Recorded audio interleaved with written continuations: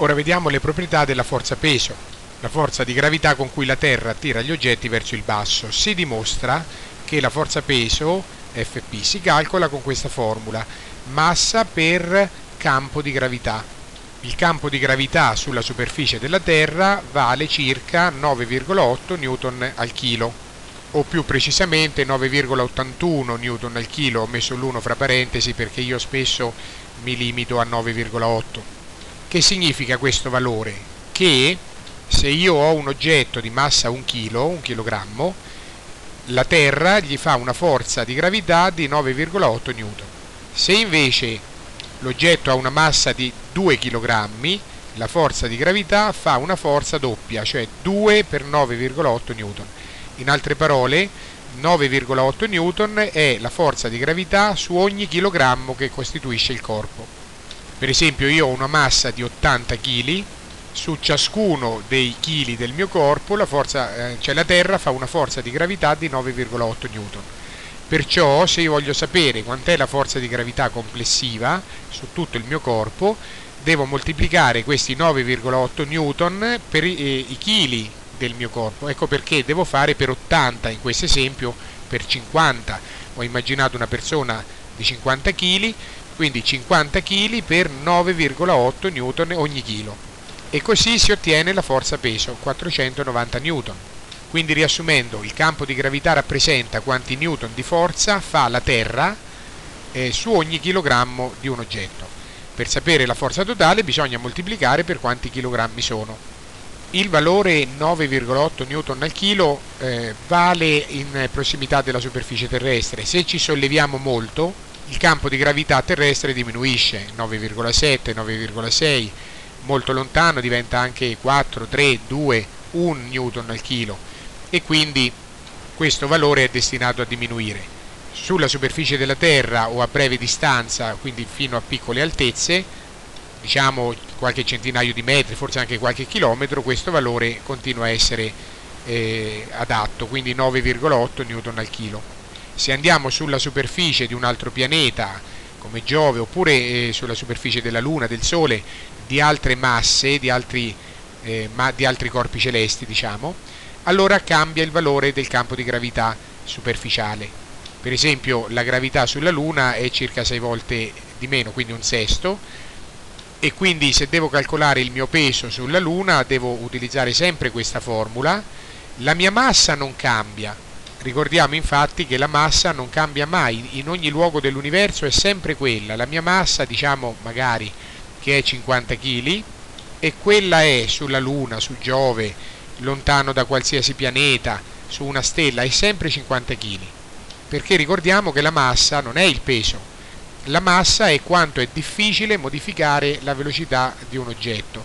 Quindi è difficile modificare la mia velocità allo stesso modo se io sto sulla Terra, sulla Luna, sul Sole o nello spazio vuoto distante da qualunque corpo celeste. Quindi la mia massa non cambia, è sempre quella in ogni luogo dell'universo.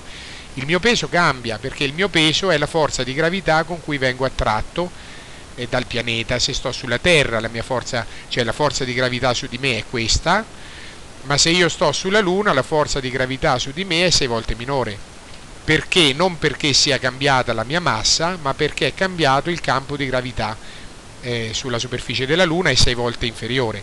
E quindi peserò 6 volte di meno, quindi un sesto peserò. Perciò in conclusione calcolare la forza peso che dobbiamo fare, massa che non cambia mai per l'oggetto, ovunque si trovi, per il campo di gravità locale che cambia perché dipende dal luogo in cui mi trovo il campo di gravità per esempio sulla Terra se salgo in alto la gravità diventa minore. Ora torniamo sulla superficie terrestre, 9,8 o 9,81 Newton al chilo e riprendiamo questo oggetto, una persona da 50 kg.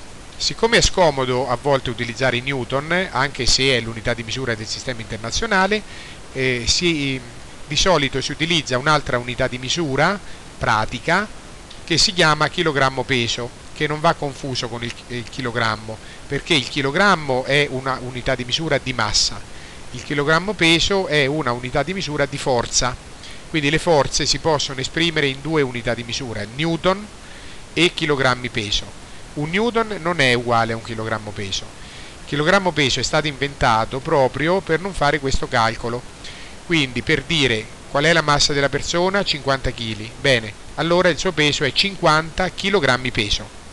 Cioè è stato inventato in modo che il peso di, una, di, un, di un oggetto sia numericamente uguale alla sua massa, numericamente, cioè 50-50, anche se l'unità di misura è diversa, chilogrammo, chilogrammo peso per capire come si fa l'equivalenza tra newton e chilogrammo peso, che sono entrambe unità di misura diverse, ma sempre delle forze. Allora, per fare questa equivalenza, eh, prendiamo un oggetto da un chilo. Quanto pesa in newton? Eh, un chilo per 9,8 newton al chilo fa 9,8 newton. Quanto pesa invece in chilogrammi peso? E questo è ancora più semplice perché numericamente è uguale, pesa un chilogrammo peso. Perciò un chilogrammo peso corrisponde a 9,8 newton, è questa l'equivalenza. Quindi un chilogrammo peso non è uguale a un newton, è quasi 10 newton, è quasi 10 volte più grande. Un chilogrammo peso è 9,8 o 9,81 newton. Infine c'è l'altro esercizio eh, al contrario, cioè invece di dare la massa e trovare la forza di gravità con cui quella massa è attratta dalla, dalla Terra o dalla Luna o dal pianeta, si fa il, il procedimento contrario, cioè si sa quant'è il peso di un oggetto, cioè la forza di gravità che lo, che lo attrae, e si vuole ricavare la massa. Per esempio, eh, qual è la massa di un oggetto che pesa un newton? Noi sappiamo che il peso, il peso è la forza di gravità, si calcola mg, quindi mg è un newton, ma devo ricavare m, formula inversa, un newton diviso g, il campo di gravità locale, se stiamo sulla Terra, sulla superficie della Terra, vale questo valore qua, e quindi la massa è 0,102 kg, circa un etto, un decimo di chilo, quindi circa un etto. Quindi qual è quell'oggetto che... Eh, che pesa, cioè la cui forza peso è un newton, è circa un etto, un decimo di chilogrammo.